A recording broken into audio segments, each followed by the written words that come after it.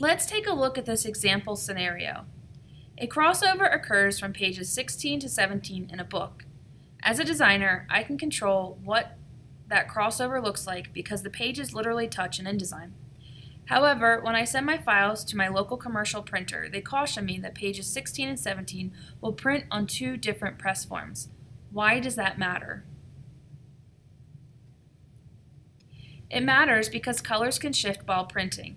Even if pages 16 and 17 are printed right next to each other on the same press sheet, there is always a possibility that color can shift during the press run. Now imagine random sheets of the same signature are pulled and compared side by side. The color of page 16 can be slightly different from the first and the last sheet printed, causing additional headaches while trying to keep color consistency in the finished book. Last, let's consider that the pages that will be bound next to each other, like 16 and 17, are not printed at the same time or possibly even the same day, because they land on two different signatures. This adds another level to the complexity of matching color when printing and assembling a book. Having basic knowledge of printer spreads can assist in decision making as it involves crossovers like these. Almost all books are printed and bound as 16 page signatures. Every 16 pages starts a new press form. Instead of designing the book with a crossover from pages 16 or 17, which is almost guaranteed to print on two different press forms, I can choose to use a crossover on two pages that will be on the same signature. Or better yet, I can print them on the same side of the same signature.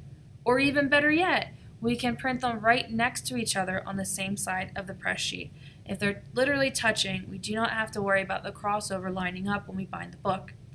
Looking at that same 16 page signature that we've been looking at for the last few slides, I want to point out a few things. First, this would work if we're using 16 page signatures and we're using stacked binding, meaning we are going to stack the signatures so that pages 1 through 16 are in the first signature, 17 through 32 are in the second, etc.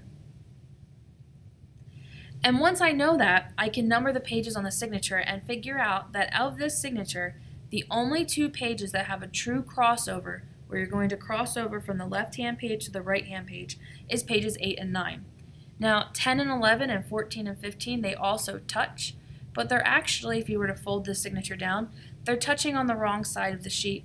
The numbers are backwards. But in order for the signature to work, to fold down, to create a signature where when you're done the pages are all in the right order, you have to put page 10 on the right hand side of page 11 and page 14 on the right hand side of page 15 when it really should be switched.